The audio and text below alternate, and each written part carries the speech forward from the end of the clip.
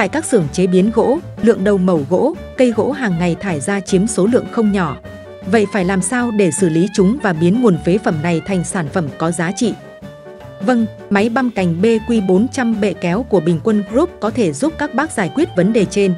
Với khả năng băm nhỏ đa dạng các loại nguyên liệu như đầu mẩu gỗ, gỗ rác, cành cây, băm được cả lá, vỏ dừa thành dạng răm gỗ, môn dừa với số lượng lớn, mở ra cơ hội tăng thêm thu nhập đáng kể cho các bác. Vận hành chiếc máy này cũng rất đơn giản, tính năng và hiệu quả lại vượt trội so với các dòng máy khác trên thị trường. Máy lắp đầu nổ D40 nên không cần phụ thuộc vào nguồn điện, với hệ thống bánh xe đẩy tiện lợi có thể kéo máy đi băm ở bất cứ đâu.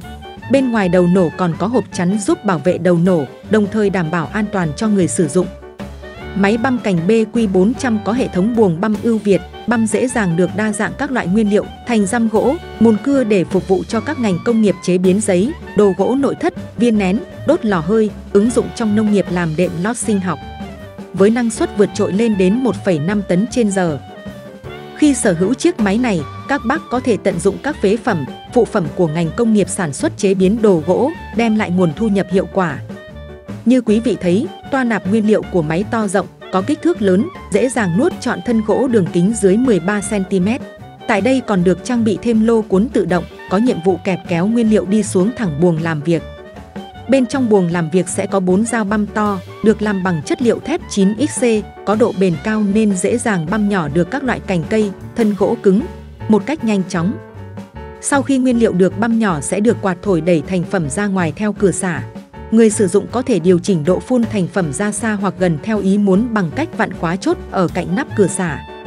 Đặc biệt, máy băm cành BQ400 được thiết kế cải tiến hiện đại, cửa xả của máy còn có thể xoay cổ 360 độ, điều chỉnh hướng xả theo ý muốn mà không cần phải mất công xoay toàn bộ máy như trước kia.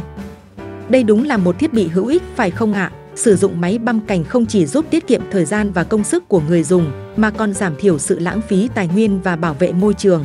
Ngoài ra chiếc máy này còn giúp các bác giảm chi phí vận chuyển cành cây trong quá trình cắt tỉa, tạo ra một vòng tuần hoàn chăm sóc cho cây hữu ích.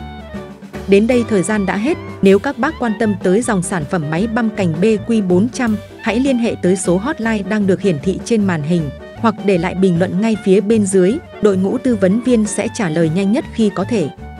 Khi mua máy tại Bình Quân Group, các bác sẽ nhận được những điều sau.